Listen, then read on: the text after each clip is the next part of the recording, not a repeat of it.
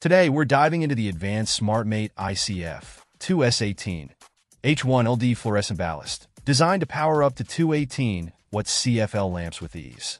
This ballast operates on both 120 and 277 volts, offering flexibility for various lighting setups.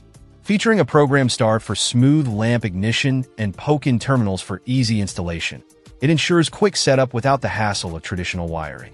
The color-coded dual-entry connector simplifies wiring, making it accessible for both DIY enthusiasts and professionals alike. Point one standout feature is its 1.0 ballast factor, optimizing energy efficiency while maintaining consistent lighting output.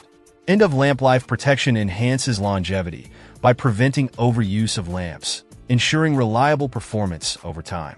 Whether you're retrofitting an existing lighting system or installing new CFL fixtures, the Advance SmartMate ballast delivers on reliability and efficiency. In conclusion, the Advance SmartMate ICF 2S18 H1 LD stands out as an excellent choice for anyone looking to maximize the efficiency and longevity of their 18 watt CFL lighting setup. Its robust design, easy installation features, and energy-saving capabilities make it a top contender in the realm of fluorescent ballasts. Check out the video description for updated price. And thank you for watching this video.